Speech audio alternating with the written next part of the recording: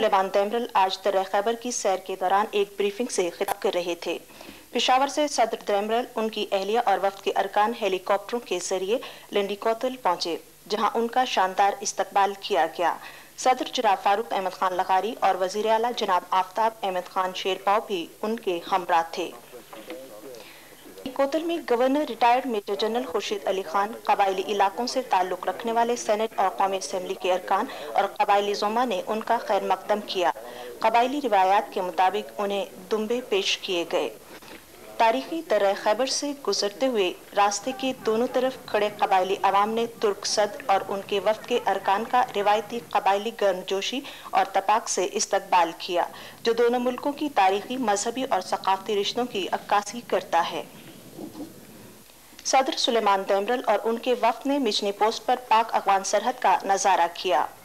Frontier کور کے inspector general نے briefing میں معزز مہمان کو پاک افغان سرحد کے تاریخی منظر اور جغرافیائی اہمیت اور قبائلی علاقوں کی رسوم و رواج سے آگاہ کیا۔ ترکی کے صدر اور ان کے وفد کے ارکان نے خیبر رائفلز کے میس میں ایک زہرانے میں بھی شرکت کی جو ان کے اعزاز میں دیا گیا تھا۔ انہوں نے مہمانوں کی گیلری بھی دیکھی۔ اس موقع پر ایک ثقافتی شو پیش کیا گیا جس میں فرنٹیر کور کے جوانوں نے قبائلی رقص پیش کیا۔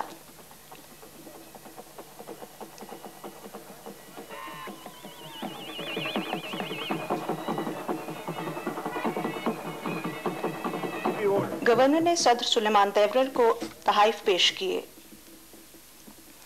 اس سے پہلے ترکی کے صدر جناب سلیمان تیمرل اپنی اہلیہ اور وفد کے ہمراہ اسلام آباد سے پشاور پہنچے تو ہوائی اڈے پر ان کا نہایت گرم جوشی سے استقبال کیا گیا۔ صدر جناب فاروق احمد خان لغاری بھی معزز مہمان کے ہمراہ تھے۔ صبح سرحد کے وزیر اعلیٰ جناب آفتاب احمد خان شیرپاؤ نے معزز مہمانوں کا استقبال کیا۔ استقبال کرنے والوں میں صوبائی وزراء، قومی اور صوبائی اسمبلیوں کے ارکان، سینیٹرز اور اعلیٰ حکام شامل تھے۔ ترک صدر اور ان کی اہلیہ کو گلدستے پیش کیے گئے۔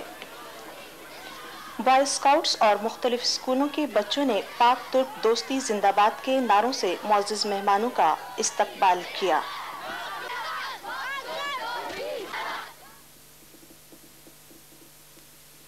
اس سے پہلے ترکی کی ایک سو ارکان پر مشتمل ایک ٹیم اسلام آباد سے پشاور پہنچی۔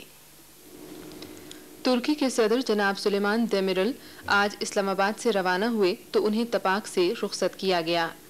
معزز مہمان صدر مملکت کے ہمراہ ہوائی اڈے پر پہنچے۔ جناب سلیمان دیمرل کو الوداع کہنے کے لیے ممتاز شخصیات، سفارتی نمائندے، منتخب نمائندے اور بعض وفاقی وزراء بھی ایئرپورٹ پر موجود تھے۔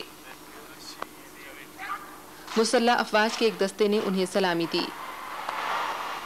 اس موقع پر دونوں ملکوں کے قومی ترانے بجائے گئے۔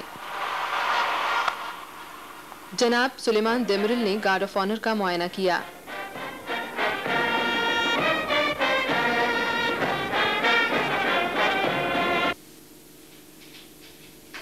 مارچ پاسٹ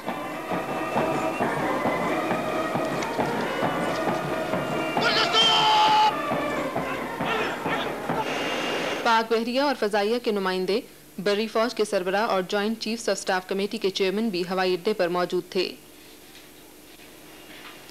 معزز مہمان طیارے میں سوار ہوئے تو انہیں اکیس توپوں کی سلامی دی گئی